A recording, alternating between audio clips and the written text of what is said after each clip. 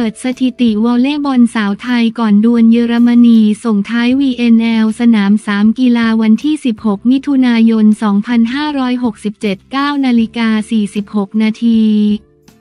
เปิดสถิติน่าสนใจวอลเลย์บอลสาวไทยก่อน มีโปรแกรมลงสนามพบกับทีมชาติเยอรมนี ส่งท้ายการแข่งขันวอลเลย์บอลเนชั่นลีก 2024 สนามที่ 3 การแข่งขันวอลเลย์บอลหญิงเนชั่นลีก 2024 VNL 2024 รอบแรกสัปดาห์ที่ 3 ที่เขตบริหารพิเศษฮ่องกงระหว่างวันที่ 11 ถึง 17 มิถุนายน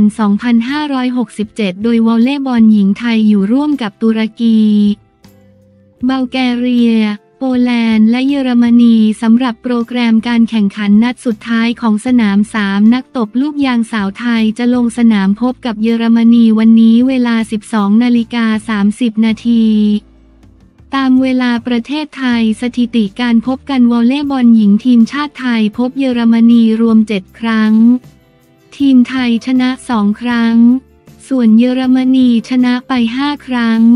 โดยชัยชนะครั้งล่าสุดของสาวไทยต้องย้อนกลับไปเมื่อ 3 ปีที่แล้วขณะที่สถิติ 5 นัดล่าสุดถือว่าสูสีไทยชนะ 2 นัดแพ้ 3 นัด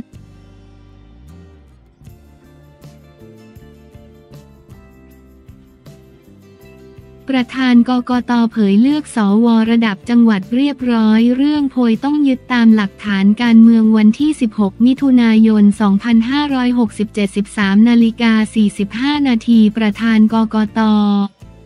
เผยภาพรวมเลือกสวระดับจังหวัดเรียบร้อยไม่มีรายงานอุปสรรค ส่วนเรื่องโพยต้องยึดตามหลักฐานให้ความเป็นธรรมทุกฝ่ายเชื่อประกาศผลสวได้วันที่ 2 กรกฎาคม ตามกำหนดเดิมยันหากสารวินิจฉัยยกรอ ปอ ที่มาสวขัดรัฐธรรมนูญ มีมาตรการรองรับแล้วเมื่อวันที่ 16 มิถุนายน 2567 เวลา 12 นาฬิกา ที่โรงแรมเซนทาราไลฟ์ศูนย์ราชการแจ้งวัฒนะนายอิทธิพรบุญประคอง ประธานคณะกรรมการการเลือกตั้ง กกต เดินทางมาตรวจเยี่ยมการจัดเลือกสวระดับจังหวัด พร้อมเปิดเผยภาพรวมการจัดการเลือกสวในพื้นที่ทั่วประเทศว่าภาพรวมน่าพึงพอใจ การดำเนินการของเจ้าหน้าที่และความพร้อมของผู้สมัคร โดยเฉพาะที่จังหวัดราชบุรีและนครปฐมที่ได้ลงพื้นที่ไปตรวจเมื่อช่วงเช้าจังหวัดราชบุรีมีผู้ผ่านเข้ารอบทั้งหมด 458 คนไม่มารายงานตัว 4 คน ซึ่งตนเดินทางไปในช่วงเปิดให้รายงานตัว ประมาณ 8 นาฬิกา 30 นาที การจัดสถานที่เพื่ออำนวยความสะดวกให้ผู้สมัครเป็นไปด้วยดี ไม่มีปัญหา และยังได้เห็นภาพการมีส่วนร่วมของประชาชนและภาคส่วนต่างๆ ที่มาสังเกตการซึ่งถือเป็นการตรวจสอบการเลือกครั้งนี้ด้วย ขณะที่จังหวัดนครปฐม ก็เป็นไปด้วยความเรียบร้อยมีผู้สมัครมารายงานตัวครบ 210 คนได้เห็นความพร้อมของเจ้าหน้าที่ และความตั้งใจของผู้สมัครที่จะปฏิบัติให้เป็นไปตามกฎหมาย นายอิทธิพรกล่าวต่อว่าได้รับรายงานจากผู้อำนวยการ กกตกทมว่าจากผู้สมัครทั้งหมด 1,634 คนมีไม่มารายงานตัว 17 คน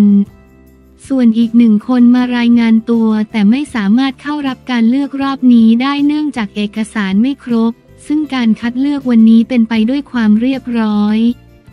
ยังไม่ได้รับรายงานถึงปัญหาและอุปสรรคใด ๆ เมื่อถามว่ามีผู้สมัครตกรอบบางรายเปิดเผยว่ามีการส่งโพยรายชื่อผู้สมัครนายอิทธิพรกล่าวว่าผู้สมัครสามารถส่งเรื่องโดยตรงมาที่ กกต หรือยื่นต่อศาลฎีกาได้ภายในสามวัน ซึ่งต้องดูพยานหลักฐานว่าเป็นหลักฐานที่แท้จริงหรือไม่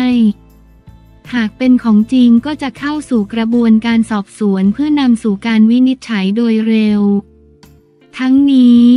การตรวจสอบทั้งหมดขึ้นอยู่กับพยานหลักฐาน หากพยานหลักฐานมีไม่ถึงแต่ยังเข้าสู่กระบวนการต่อไปก็จะไม่เป็นธรรมกับผู้เกี่ยวข้อง ดังนั้นอยากให้ทุกคนส่งพยานหลักฐานมาให้ กกต เพื่อป้องกันและปราบปรามการทุจริต ซึ่งตอนนี้มีคำร้องเกี่ยวกับการเลือกสวระดับอำเภอทั้งหมด 78 คำร้องเป็นคำร้องเกี่ยวกับกระบวนการคัดเลือก 11 คำร้องที่ต้องพิจารณาให้แล้วเสร็จก่อนการเลือกในระดับจังหวัด ซึ่งกกตพิจารณาเสร็จแล้ว ส่วนอีก 67 คำร้องเกี่ยวกับการกระทำการให้ประโยชน์ หรือเงินเพื่อให้มาสมัครส่วนในระดับจังหวัดมีแล้วสองคำร้องคือที่จังหวัดพะเยาและมหาสารคาม ส่วนประเด็นผู้สมัครร้องเรียนเรื่องนับคะแนนนายอิทธิพรกล่าวว่าการคัดค้านเรื่องนับคะแนนจะต้องกระทำในระหว่างที่มีการนับคะแนนเกิดขึ้น แล้วจะต้องกรอกคำร้องเพื่อดำเนินการแก้ไขในขณะนั้นเลย แต่ถ้าผู้ปฏิบัติเห็นว่าดำเนินการถูกต้องแล้ว ผู้ร้องก็สามารถยื่นให้กกตพิจารณาโดยเร็วหากเห็นว่ามีข้อผิดพลาดก็สามารถนับคะแนนใหม่ได้ แต่ถ้าเห็นว่าดำเนินการถูกต้องแล้วก็จะยกคำร้อง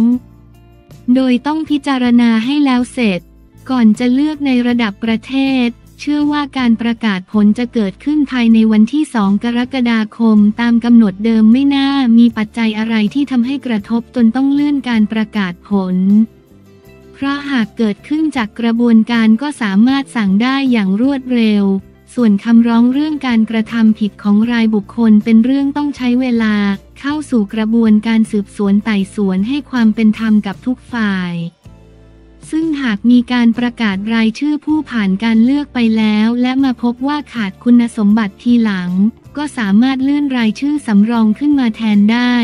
นายอิทธิพรกล่าวส่วนกรณีสารรัฐธรรมนูญนัดอ่านคำวินิจฉัยว่า พระราชบัญญัติประกอบรัฐธรรมนูญ พรป ว่าด้วยการได้มาซึ่งสว มาตรา 36 40 41 และ 42 ขัดกับรัฐธรรมนูญมาตรา 107 หรือไม่ จะกระทบต่อการเลือกสวหรือไม่นั้นประธานกกตกล่าวว่าศาลจะมีคำวินิจฉัยในอีกสองวันข้างหน้า ซึ่งเลขาธิการกกตให้ข่าวไปแล้ว ว่าได้เตรียมความพร้อมไว้แล้ว หากมีคำวินิจฉัยเป็นอย่างอื่น แต่เนื่องจากเรื่องนี้อยู่ระหว่างการพิจารณาของศาลจึงไม่ขอเปิดเผยรายละเอียดในตอนนี้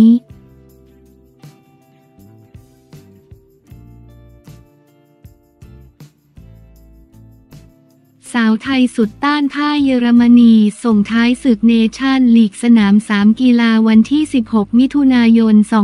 2567 13นาฬิกา54 นาที สาวไทยออกมาสู้เต็มที่ก่อนจะเป็นฝ่ายพ่ายสาวเยอรมนี ส่งท้ายการแข่งขันวอลเลย์บอลหญิงเนชั่นลีก 2024 สนามที่ 3 ที่เขตปกครองฮ่องกง การแข่งขันวอลเลย์บอลหญิงเนชั่นลีก 2024 VNL 2024 กลุ่ม 2 สัปดาห์ที่ 3 เขตปกครองฮ่องกงเมื่อวันที่ 16 มิถุนายน 67 เป็นการลงสนามนัดสุดท้ายทีมวอลเลย์บอลหญิงทีมชาติไทยอันดับ 13 ของโลก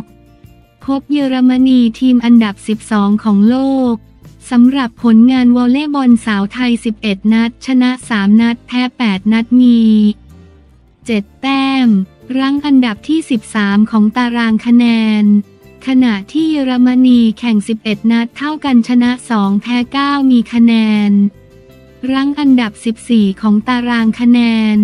เกมนี้โคชยะ นัทพลศรีสมุทรนาคหัวหน้าผู้ฝึกสอนทีมชาติไทย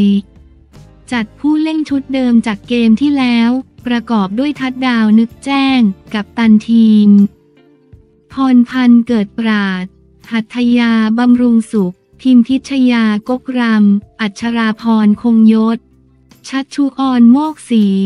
โดยมีปิยะนุชแป้นน้อยลงเป็นผู้เล่นอิสระตบสาวไทย ต้านไม่ไหวพ่ายโปแลนด์ศึกลูกยางเนชั่น ลีกสัปดาห์ 3 ช่องทางชมสดวอลเลย์บอลสาวไทยดวลเยอรมนีส่งท้ายสนาม 3 วันนี้เปิดสถิติ